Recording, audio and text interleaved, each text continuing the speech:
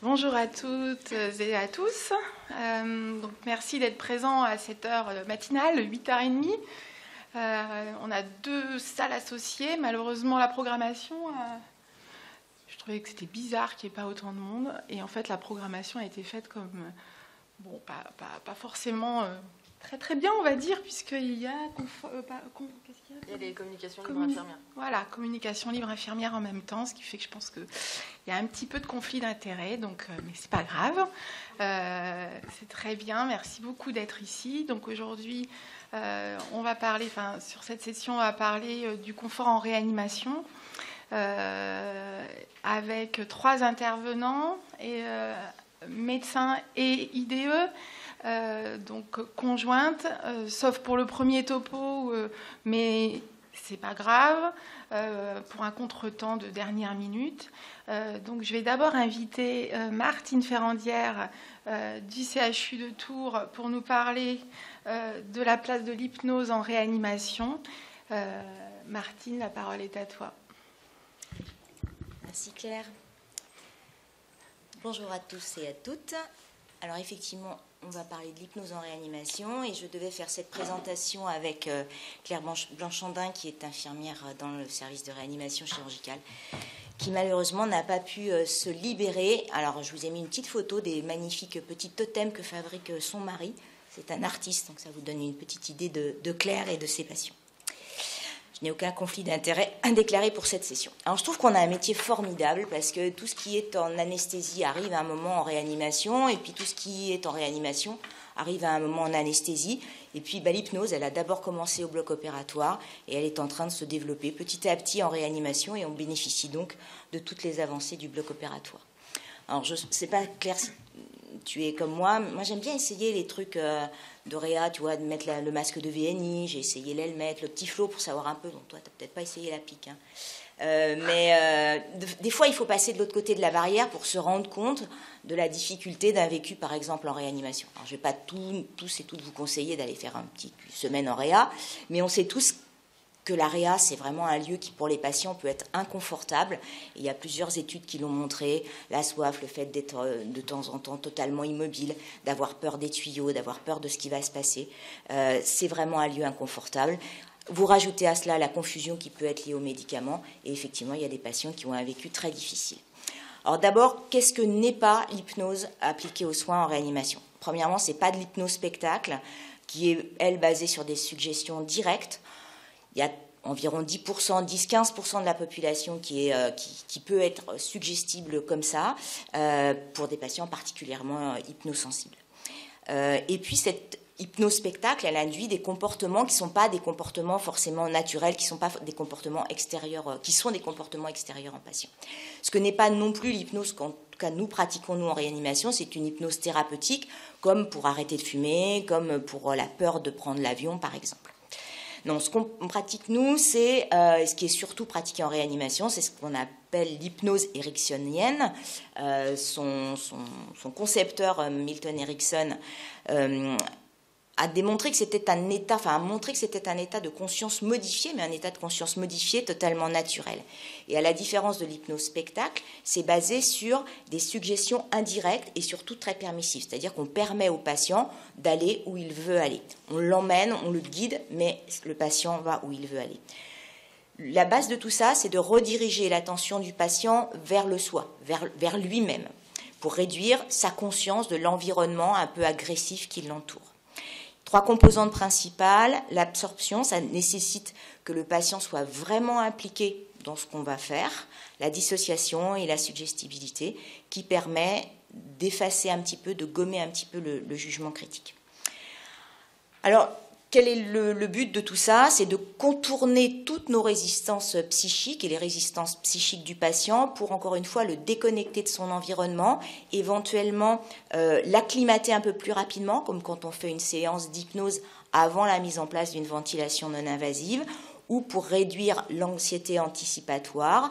Euh, par exemple, un patient a été piqué euh, pour des gaz du sang, il en a un mauvais vécu, et eh bien la prochaine euh, la, prochaine mesure euh, risque de lui déclencher une anxiété particulièrement importante en anticipation.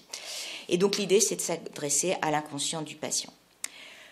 L'autre but, extrêmement important, c'est de remettre le patient comme acteur de sa prise en charge, de lui permettre de ne plus subir euh, et de lui permettre de récupérer un petit peu de dignité.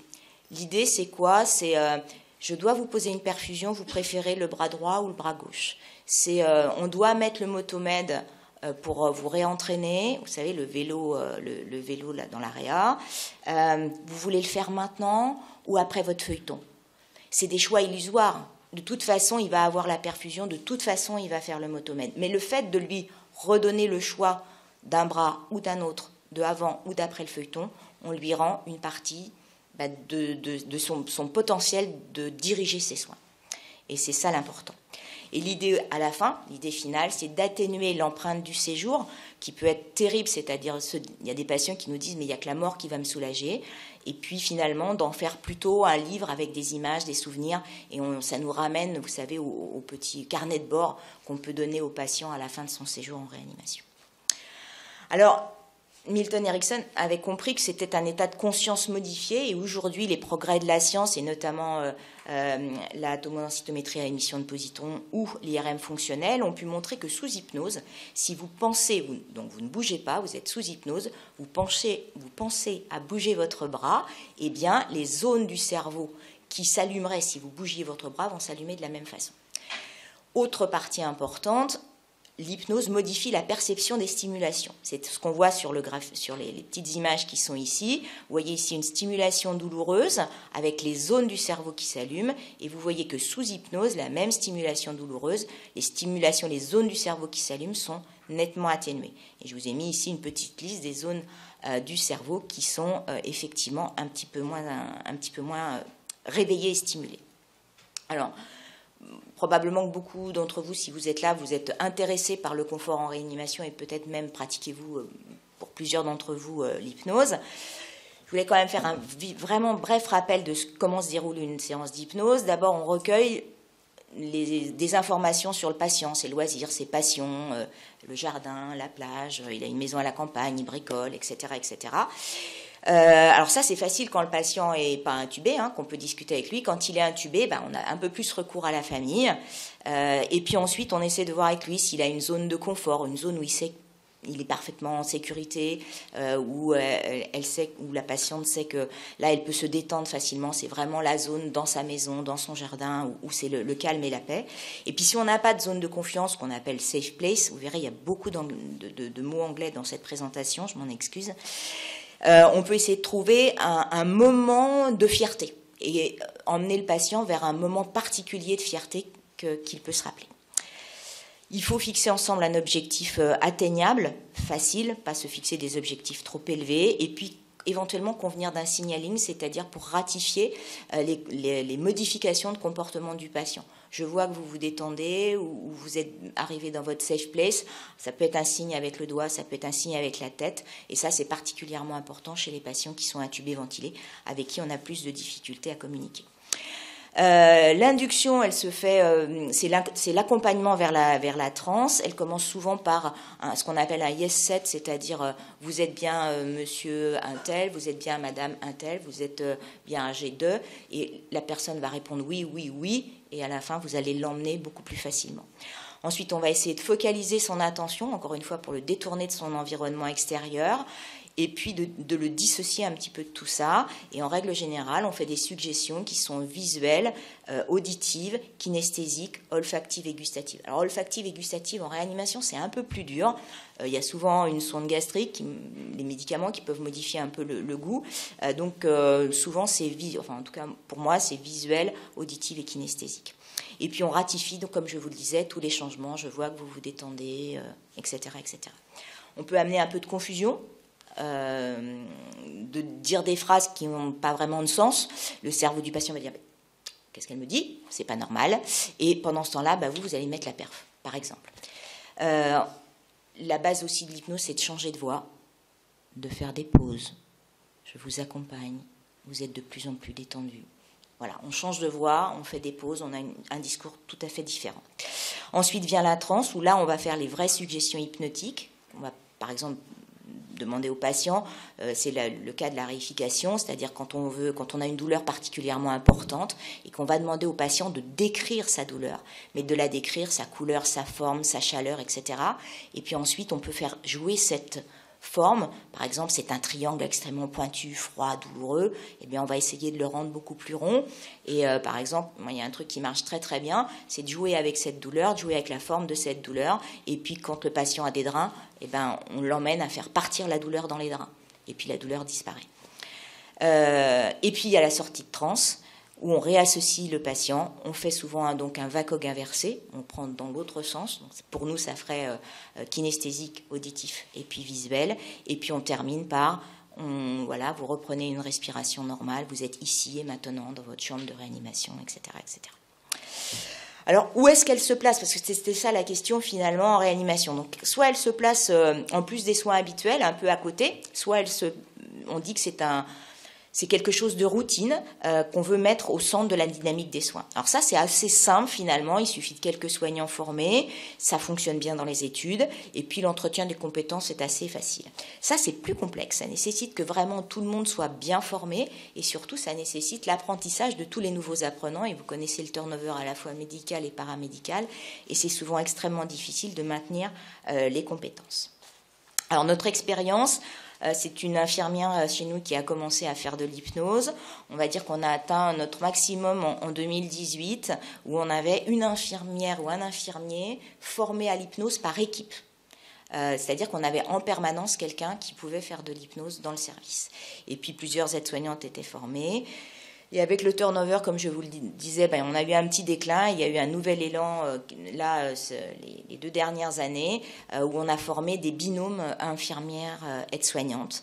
Et nous, ça fonctionne beaucoup sur ce mode-là, binôme infirmière aide-soignante. Euh, les formations sont internes au CHU. On a une équipe de formateurs euh, qui, euh, qui nous permet, en plus d'être formés vraiment au CHU, avec un compagnonnage, c'est-à-dire qu'on a des petites séances où on se revoit régulièrement avec nos formateurs et tous les gens formés, une à deux fois par an. Alors comment est-ce qu'on le pratique? Ça peut être le médecin tout seul, ça peut être l'infirmière anesthésiste toute seule, l'aide-soignante toute seule. Alors ça c'est important parce que c'est en fait une liberté totale donnée aux infirmiers, infirmières et aides-soignantes de pouvoir faire la séance quand ils ont le temps, quand euh, voilà, quand le patient en a besoin. En fait, c'est pas prescrit, hein. elles ont une liberté absolument totale. Euh, ça peut être deux infirmiers ou infirmières ensemble qui décident de faire parce, parce qu'il y a un soin, un pansement particulièrement douloureux, qui décident de travailler ensemble, une infirmière et une aide-soignante, ou pour un geste comme la pose d'un drain, d'un cathé, un médecin et un infirmier. Et je vous disais, ce qui est important, c'est l'autonomie euh, des paramédicaux. Euh, on l'utilise bah, comme un peu tout le monde hein, dans les gestes douloureux, euh, le post-opératoire qui n'est pas vraiment calmé par les antalgiques, les soins qui peuvent être inconfortables, la ventilation non invasive notamment, euh, l'extubation de patients anxieux, ou quand on a juste des problèmes d'angoisse, d'anxiété, d'insomnie. Et puis nos collègues de la réanimation neurochirurgicale, eux, ont fait tout un programme de mise en place pour les céphalées après hémorragie méningée, et vous verrez euh, la vie d'un patient euh, à la fin du topo. Et puis ça peut être juste un petit moment de relaxation, euh, et chez nous, on essaye d'amener les patients vers de l'auto-hypnose.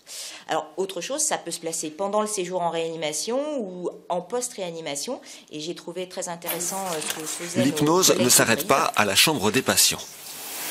Pendant que vous profitez sereinement de cet instant qui n'appartient qu'à vous, Alexandra a été hospitalisée dans le service en urgence pour une grave infection, une expérience marquée par la peur de mourir.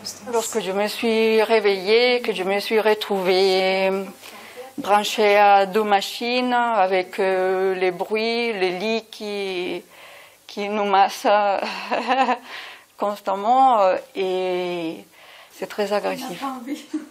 L'hypnose pendant les soins et après sa sortie a permis d'éviter un stress post-traumatique grâce à des ressources souvent inexploitées. Vous voyez, ça peut être particulièrement intéressant.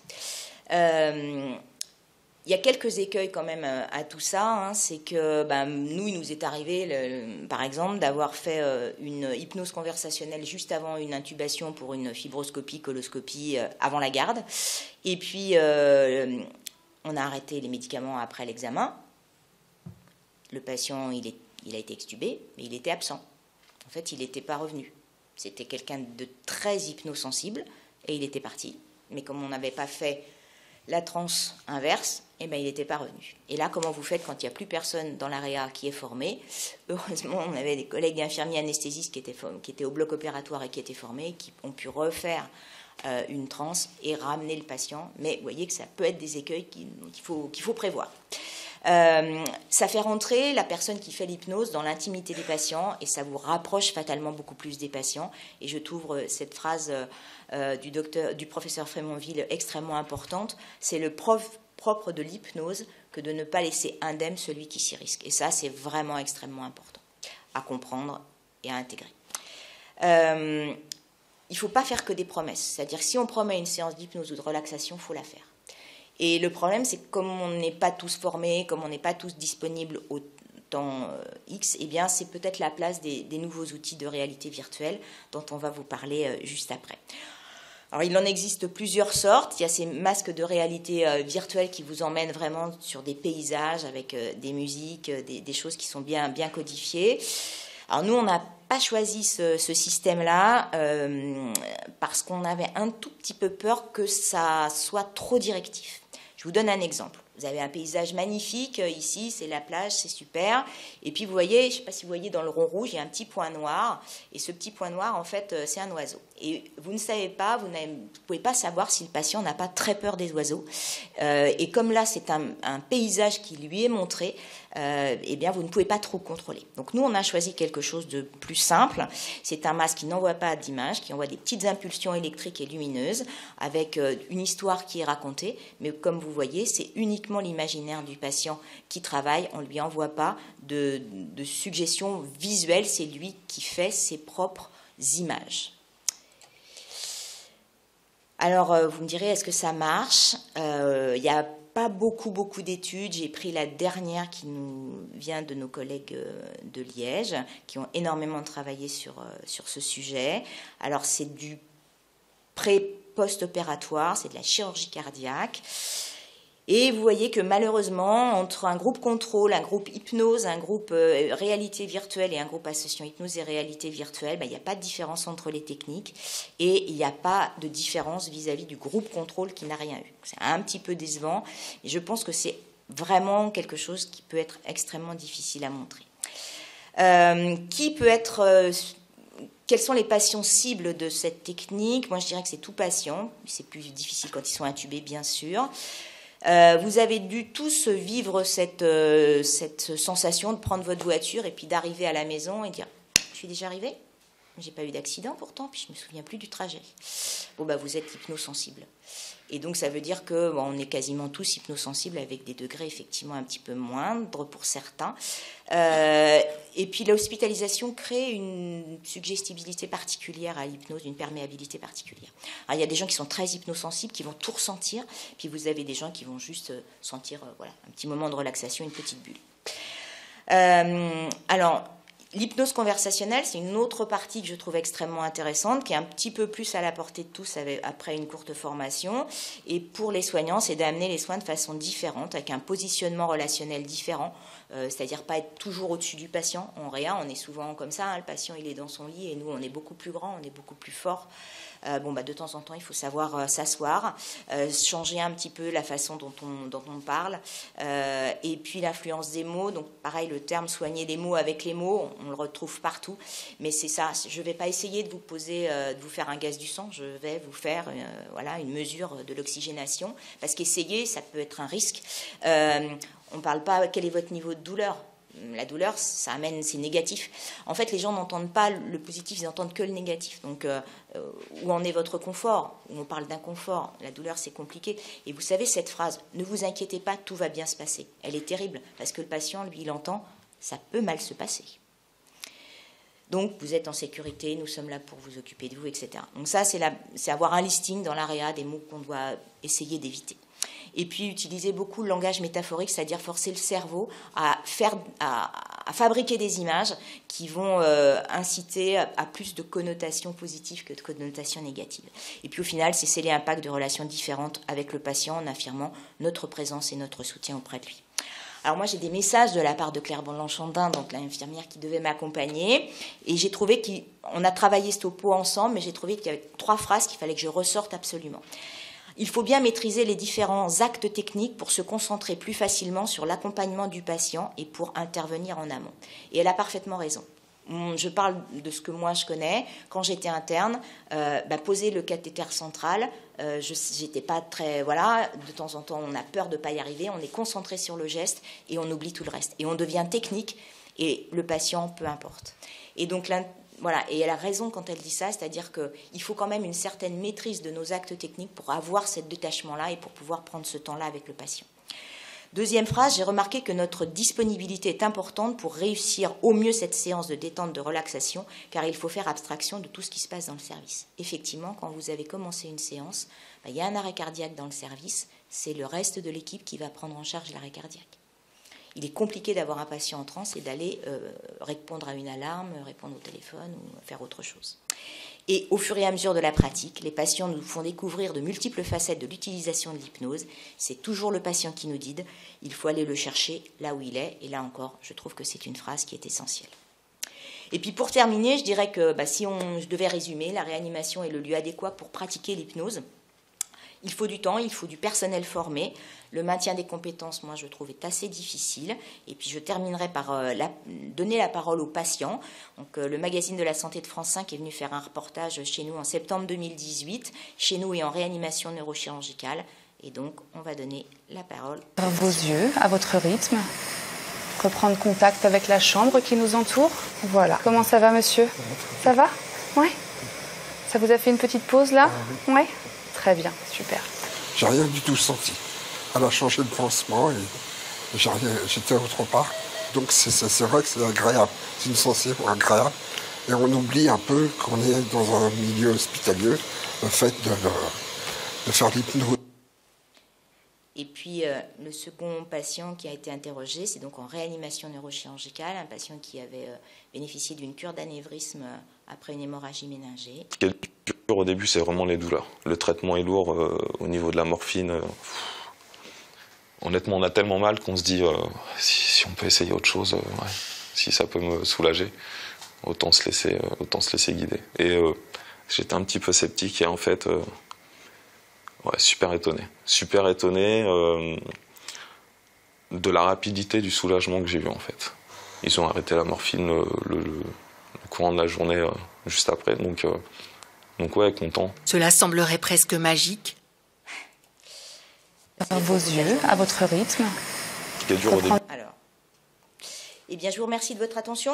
je voulais juste remercier euh, bah, toutes les infirmières et les aides-soignantes du service et puis nos formateurs, c'est important.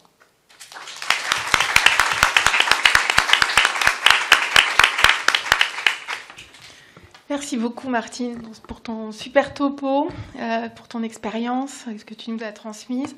Euh, je vais, avant les questions, je voudrais demander, euh, poser une petite question à l'Assemblée. Qui parmi vous a l'expérience de l'hypnose dans votre service?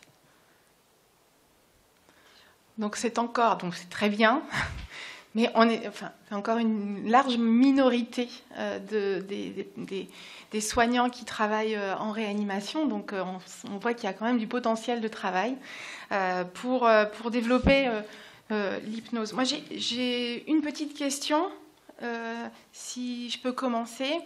Est-ce que tu as, puisque on a une large progression sur le développement de l'hypnose. Quel petit conseil tu pourrais donner? Tu en as déjà donné hein, pendant ta, présentation, mais voilà, demain on veut, on veut mettre en place, donc avant d'arriver à euh, que tout le monde soit, enfin que chaque équipe euh, ait des, soignants formés, euh, comment tu, comment tu nous, quel conseil tu nous donnes? Parce que allez voir la 4 sup. D'accord. Alors on en a une ici. non, mais en fait, c'est vraiment ça l'important. C'est-à-dire que si on veut, c'est ce que je t'ai dit, hein, si tu veux faire euh, avoir quelques personnes formées, ça va être assez simple. Si tu veux vraiment créer une dynamique de service, euh, là, il faut de l'aide de, l'encadrement parce que tu vas être obligé de former des infirmières, beaucoup, des aides-soignantes, beaucoup. C'est du temps. Euh, il faut qu'elles puissent les libérer pour la formation. Il faut intégrer tout ça parce que ça prend du temps. Une tranche, c'est une heure. Euh, donc faut avoir, euh, faut, enfin c'est une heure, ouais, entre une demi-heure et une heure, mais si tu veux vraiment bien la faire, il faut du temps. Et donc faut intégrer tout ça. Et donc ça, ça ne se fait pas sans l'encadrement. ça, c'est peut-être le, point fondamental pour, pour mm. démarrer. Donc avoir un projet à plus long terme pour se dire bon bah voilà comment on va faire dans un premier temps pour ensuite voilà. Et puis commencer faut, faut montrer l'intérêt. Nous aussi ce qui a au départ tu vois il y avait une infirmière. Et cette infirmière nous a démontré l'intérêt. Et, ça a permis euh, ça a été après ça a été extrêmement rapide. Parce que ses collègues ont dit ah, mais non mais c'est trop bien ce que tu fais. Et, et donc ça, ça après ça a été rapide. Ok. Est-ce qu'il y a des questions? Oui? Est-ce que vous pouvez juste vous déplacer vers le micro parce qu'autrement les personnes du fond ne vont pas entendre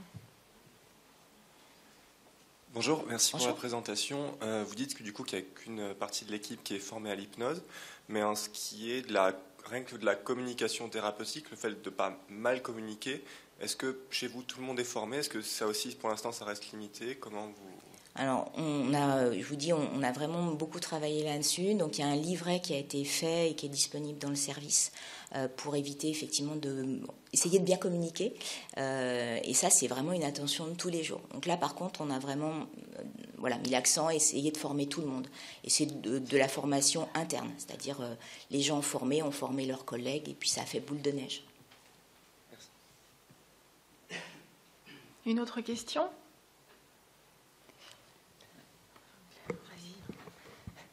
Une question de Catsup. euh, vous dites que ça prend une demi-heure, une heure. Elles font ça parce qu'il y a un ratio pour les infirmières en vrai, on est d'accord il n'y a pas d'infirmière en plus pour faire ce genre de soins? Non, on est d'accord. Non. mais c'est bien. Si on veut vraiment le. C'est pour ça que ce que je vous ai montré, c'est que nous, pour l'instant, on va dire qu'on est encore euh, à côté des. Enfin, vous voyez, c'est en plus des soins. Euh, si on veut vraiment que ça devienne quelque chose, là, il faut l'intégrer obligatoirement. Merci. Toujours pas de questions? Ah, si.